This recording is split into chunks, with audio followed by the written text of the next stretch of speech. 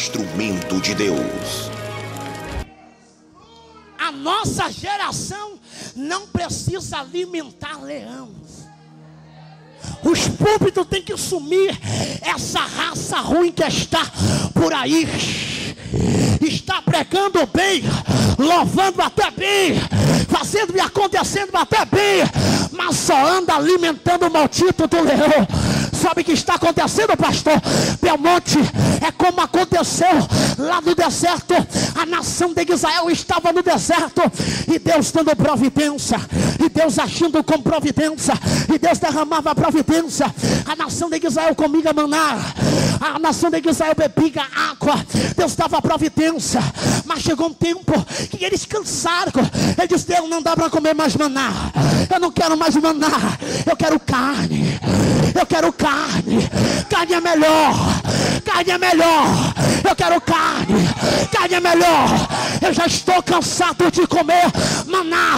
Maná dentro da Bíblia representa Jesus. É livro de João, capítulo 6, versículo 31, 32, 33, 34, 35. Jesus disse que ele era o pão da vida.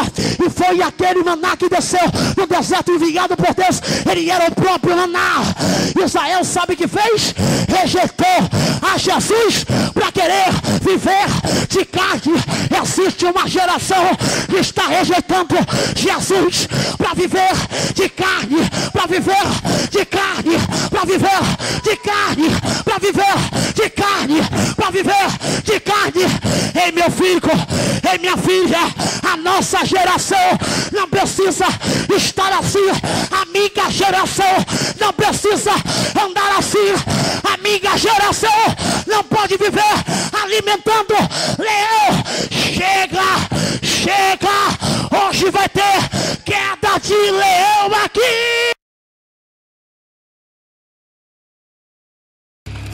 Para falar com autoridade.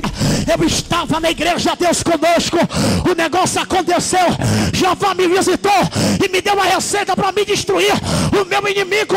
É orando, é orando, é orando, é orando, é orando, é orando, é orando. Cadê a igreja que ora? Cadê a igreja que busca? Cadê a igreja que ora? Cadê a igreja que busca? Esta noite o inimigo vai cair.